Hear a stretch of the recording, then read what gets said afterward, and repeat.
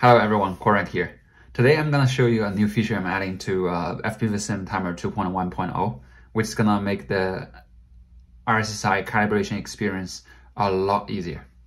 Okay, here I got my timer powered up. Let's connect to it. Now we got the timer connected. And now if we go to the settings menu, you should see there are some changes on quad detection.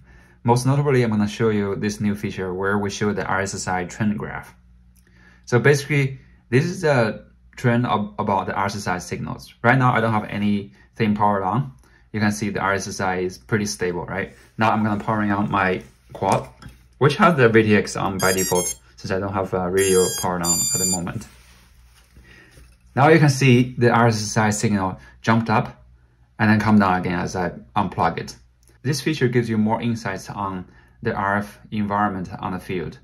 And here we actually render also render two uh, horizontal bars, one for the RSSI enter and one for the leave.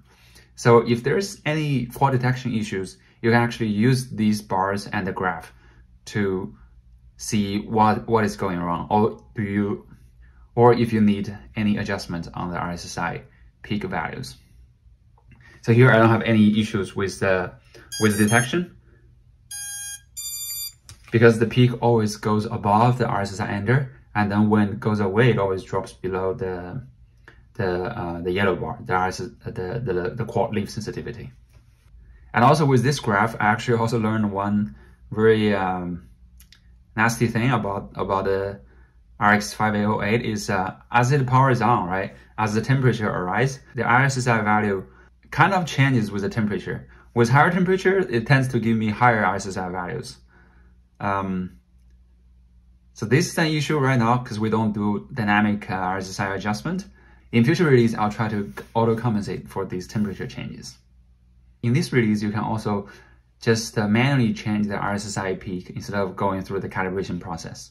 Because we have this graph now, we can just see what is the best RSSI uh, peak values to choose. That gives you most robust quad detection. Note that this feature do uh, add more traffic on Wi-Fi. So if you are done with the diagnosis, feel free to just disable it to make the wireless connection more robust. I almost forgot to mention, to use this feature, you have to update both firmware and software to 2.1.0. Please make sure you have updated both sides. That's it for today. Thanks for watching. I'll post an update when the new release is out.